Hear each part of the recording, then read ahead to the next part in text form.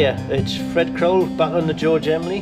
We're doing very well now. We've started a program on the outside of the hull prior to putting all our fittings back on.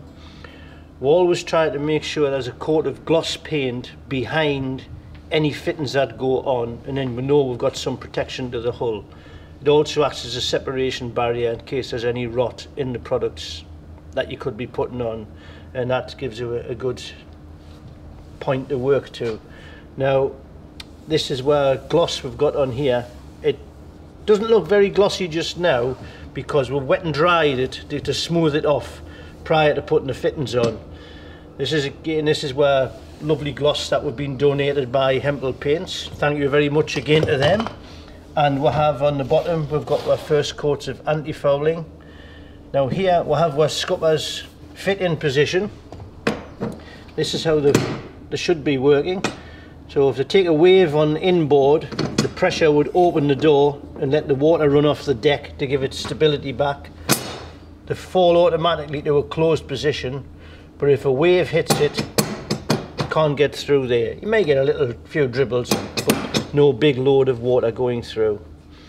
Now if we can look down here a wee bit, these were the bilge rails that were prepping up on the last film, they are all now clenched into position, full length, both sides, and a few coats of paint on them.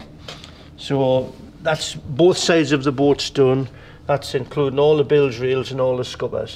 There's 20 odd scuppers in here, so there's a fair bit of work fitting them. Quite a few screws gone in there. We have now got uh, a water line marked throughout the boat and a few coats of paint on and again it's purely to make sure I have coats underneath fittings. We also have a name on it's only a sticker it's not gold leaf like the finished job but it's just to let people see the name of the project as we're coming through. And again the gloss on there it's been sanded off that's why it hasn't got a shine on it but it's lovely paint. Right what we're going to do now is we're going to journey upstairs because we're busy making the plans out for the, the whaleback and the moulds. So we'll show you how to do a little bit of lofting work.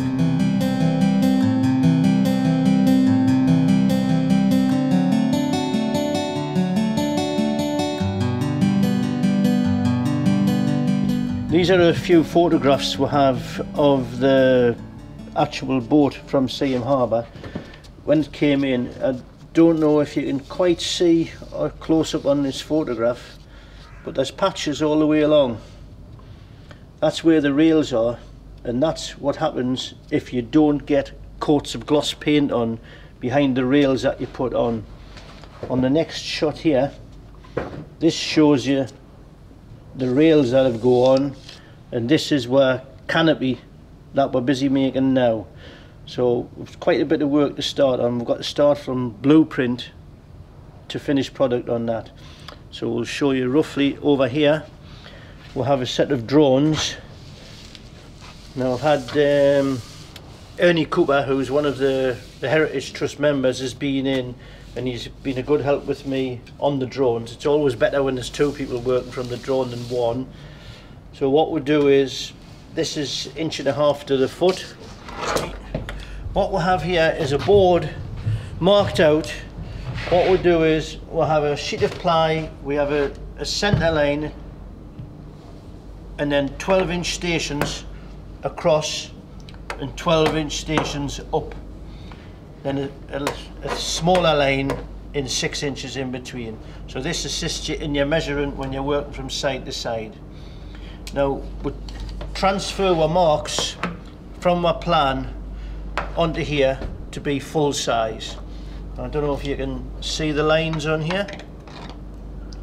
But what we do is we only draw half of the line. We don't do a full line because they're so close if you got all your lines together it would give you a problem.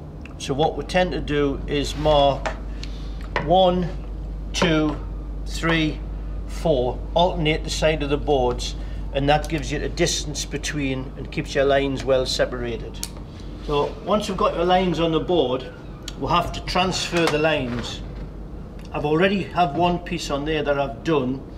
So what we'll do is you mark half of the board, put a centre line on, turn it over, duplicate it again, and that gives you one piece. Now, what I need to do is duplicate that bit of curve there. So I'm going to put that on there. So I get a few nails. I know that's where I want to be, so stick a nail in.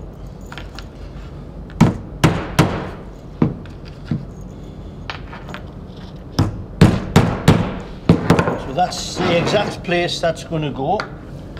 A little mark on each end where I finish on my line. Just put a little mark on there so I know which way I'm going. Now what we do is we get some nails. You can also do with this with tacks. And we put the nails on the pencil line. If it's a tight curve, you just put your nails a bit closer together. If it's just a, it's a, a long straight line, you can put your nails about four or five inches apart. Transfer that under there. And you very carefully offer that up to your three nails. You know that's the position. Gently press on there. A little bit of treatment. Now when we lift that off, some stick in, some don't. Might have to put these on. Now if you look close up to this, you can see we have our nail heads. That's all the other side of the head.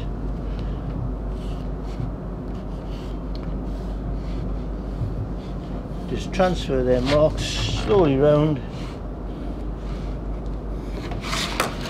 And there's a nice curve lifted up off the board. That would be cut out on the bandsaw. I already have a few bits that I've prepped up. Now the lines that are on are the extreme of the job. So we've got two thicknesses of half inch planking so you after you've made your mould we reduce it by a half an inch and that gives you the position that we need to build on. So what we do now is we'll put that into position. We know we've got a mark on my board here.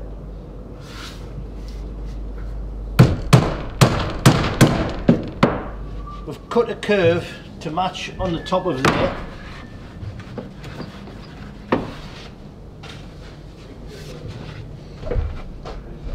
We'll just slowly push that round into position. We know where that's going to be. We've marked a line in here and a line in there. That shows you the extreme of the pieces of timber underneath. That then gives you a position for to put your screws in. So we'll put a pad goes on there.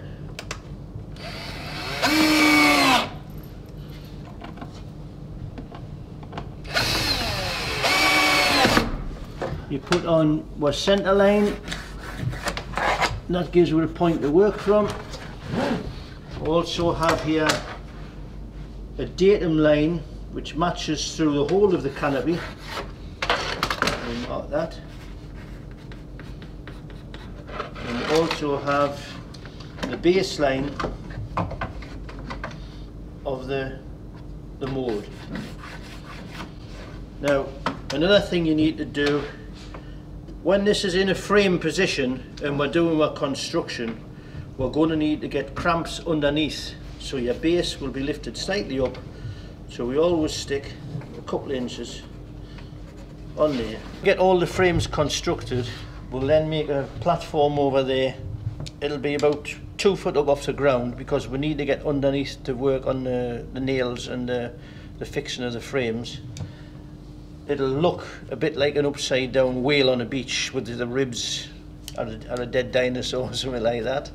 And then we'll bend our frames then the timbers and then we'll start the planking program and you, you work to a reverse it's not like when you're building a boat where you build the hull first and then steam the ribs in this way we're working to a dedicated size and then we'll where finished boards go on the top.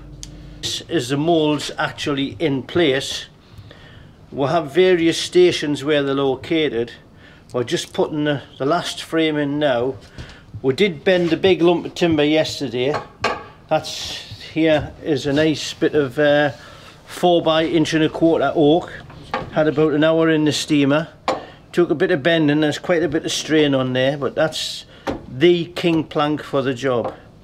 As you see, the framework we had to have here quite a few bits of support because the load would have been pushing directly down onto there and collapsed the moulds.